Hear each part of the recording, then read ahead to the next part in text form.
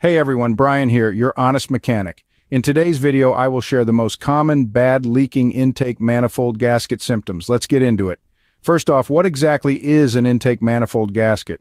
Well, it's a crucial component that seals the intake manifold to the cylinder head, preventing air and coolant leaks.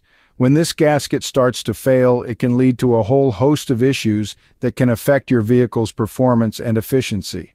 Now what happens if this gasket starts to leak? Here are the main symptoms. One of the most common symptoms of a leaking intake manifold gasket is engine misfires. You might notice your car stuttering or hesitating, especially when you're idling or accelerating. This happens because the leak is allowing extra air into the engine, messing up the delicate balance of the air-fuel mixture.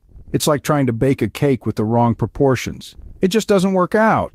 Another sign that your intake manifold gasket might be on its way out is poor fuel economy. If you're suddenly filling up more often than usual, it could be because your engine is compensating for the lean air-fuel mixture caused by the leak. It's working harder than it needs to, and that extra effort is costing you at the pump. If you're sitting at a red light and your car is idling like a nervous teenager on a first date, that's another potential symptom. A rough or uneven idle can be caused by the disrupted air-fuel mixture, making it difficult for your engine to maintain a steady rhythm. Now, here's where things can get a bit more serious. Some intake manifold gaskets also have the important job of sealing coolant passages. If the gasket fails in these areas, you might see coolant leaking from the engine block or even making its way into the combustion chamber. This can lead to overheating and some pretty nasty engine damage if you don't catch it in time. Speaking of overheating, a leaking intake manifold gasket can cause your engine to run hotter than a jalapeno in a sauna. If the leak is allowing coolant to escape, your engine might not have enough of the cold stuff to keep its cool. And trust me, an overheating engine is not a happy engine. If you're cruising down the highway and suddenly your check engine light decides to crash the party, a leaky intake manifold gasket could be the reason why. Modern vehicles have sensors that keep a watchful eye on the air-fuel mixture, and when something's off, they'll let you know with a bright orange glow on your dashboard. You might also notice that your vehicle just doesn't have the pep in its step that it used to.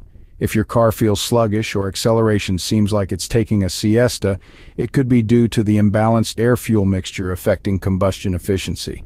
It's like trying to run a race with a pebble in your shoe. It's just not going to be your best performance.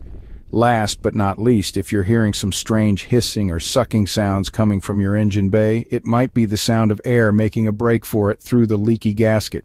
These noises can vary in intensity depending on how fast your engine is running, so keep an ear out for any suspicious soundtrack additions. So, there you have it, the key symptoms of a leaking intake manifold gasket. If you're experiencing any of these issues, it's time to get your vehicle to a trusted mechanic for a proper diagnosis.